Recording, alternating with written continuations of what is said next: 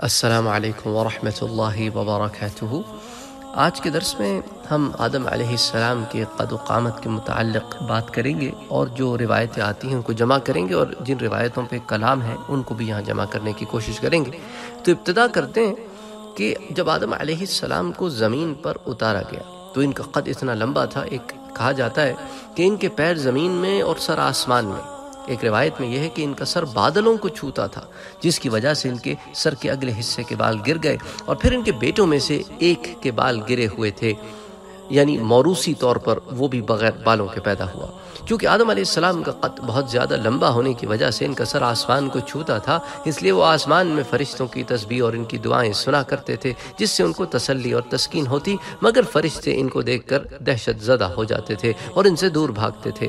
اس پر آدم علیہ السلام نے اپنے قد کے متعلق اللہ تعالیٰ سے فریاد کی تو اللہ تعالیٰ نے ان کا قد تیس ہاتھ کے برابر کر دیا۔ تیس ہاتھ سے مراد عام ہاتھ ہے، مگر ایک کمزور قول کے مطابق یہ ہے کہ وہ تیس ہاتھ آدم علیہ السلام ہی کے ہاتھوں کی پیمائش ہے۔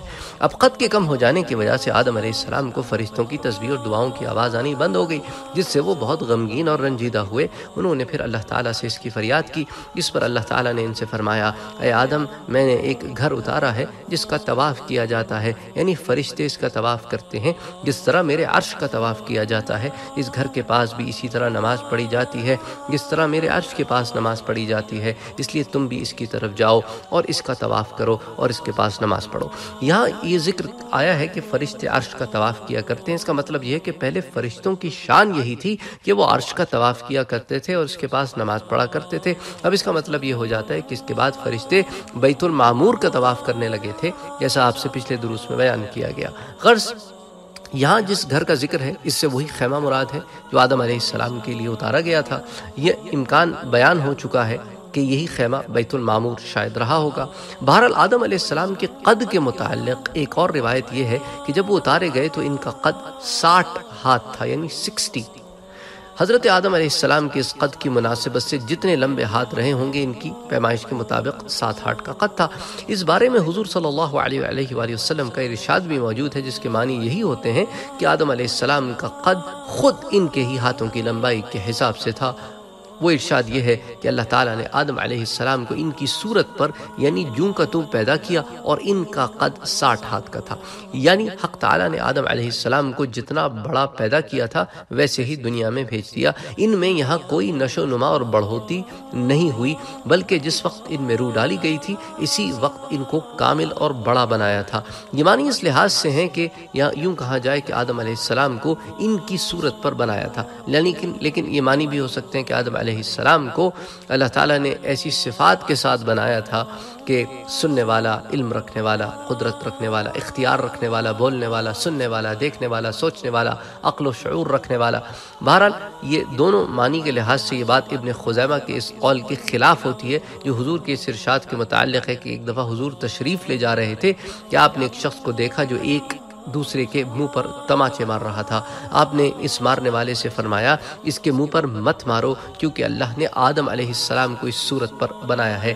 اب یہاں پر علماء یہ بیان کرتے ہیں کہ مشابہت ہوگی اس کی شکل یعنی اس شخص کی جیسی شکل کے تھے، وہی صورت اس میں آئی ہے۔ یعنی حضور کے اس ارشاد کا مطلب یہاں یہ بیان کیا گیا ہے کہ خاص آدمی کی شکل و صورت کے متعلق آپ نے فرمایا کہ اللہ نے آدم کو اس کی صورت پر بنایا مطلب نہیں کہ جوں کا توں یا اپنی صورت یا صفات پر بنایا، مگر ظاہر ہے کہ بات ظاہری طور پر سمجھ میں آنے والی نہیں۔ جہاں تک اس قول کا تعلق ہے کہ جب اللہ تعالیٰ نے آدم کو زمین پر بھیجا تو ان کا قد ساٹھ ہاتھ کا تھا۔ اس کی تائید اس حدیث سے ہوتی ہے جو مرفوع حدیث ہے کہ آدم علیہ السلام کا قد ساٹھ ہاتھ تھا اور چوڑائی سات ہاتھ، چوڑائی سات، سیون ہاتھ اور قد ساٹھ یعنی سکسٹی۔ اسی لیے علامہ حافظ ابن حجر رحمۃ اللہ علیہ فرماتے ہیں کہ روایت ہے کہ جب آدم کو زمین پر اتارا گیا تو ان کے پیر زمین پر اور سر آسمان میں تھا، اس کے بعد اللہ نے ان کا قد کم کر کے ساٹھ ہاتھ کے برابر کر دیا۔ مگر یہ بات صحیح حدیث کے ظاہری معنی کے خلاف ہے اور وہ یہ کہ اللہ نے آدم کو شروع ہی سے ساٹھ ہاتھ کے برابر قد کا بنایا تھا اور یہی بات صحیح ہے۔ تو پچھلی روایت بہت ضعیف ہے کہ وہ اتنے لمبے تھے کہ آسمانوں تک چھوتا تھا اور پھر ان کا قد ریڈیوس کیا گیا۔ یہ بات صحیح احادیث کے خلاف ہے۔ تو روایت یہی جو ہے علماء کے ہاں صحیح سمجھی جاتی ہے کہ آدم علیہ السلام ساٹھ ہاتھ کے بنائے گئے اور اسی حالت میں زمین پر اتارے گئے۔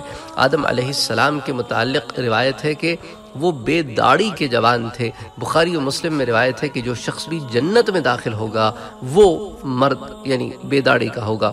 جنت والوں کی صفت کے بارے میں یہ حدیث میں آتا ہے کہ وہ آدم علیہ السلام کی طرح بغیر داڑھی والے ہوں گے۔ بعض روایتوں میں آتا ہے کہ جنت سے جدا ہونے کے غم میں آدم علیہ السلام اتنا روئے کہ ان کی داڑھی کے بال آئے۔ مگر یہ روایت درست نہیں ہے، کیونکہ داڑھی سب سے پہلے جس انسان کی نکلی وہ آدم علیہ السلام کے بیٹے ہیں۔ بہرحال یہ چند روایات تھیں جن جو میں نے سوچا کہ آپ کے سامنے پیش کر دوں، کیونکہ اکثر کیا ہوتا ہے کہ ہم بہت ساری روایتیں سنتے ہیں اور اس میں کنفیوژن ہو جاتی ہے۔ تو اس لیے میں نے وہ تمام روایتیں جمع کی اور ساتھ یہ بھی بتا دیا کہ علماء کے نزدیک ان میں سے زیادہ تر صحیح روایت کون سی ہے؟ وما علینا الا البلاغ۔